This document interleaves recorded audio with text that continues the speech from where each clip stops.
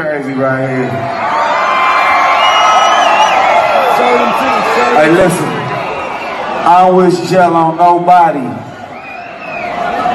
I don't wish jail on nobody, you know what I'm saying? That's a fucked up situation, that's a fucked up place. I don't wish jail on nobody.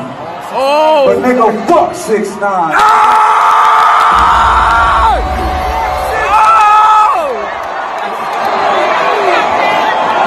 I can't have a motherfucking good time. Y'all can't afford it, make some motherfucking noise.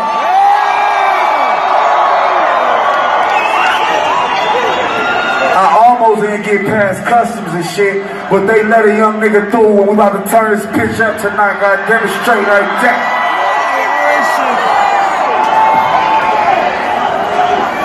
Finna send this to academics.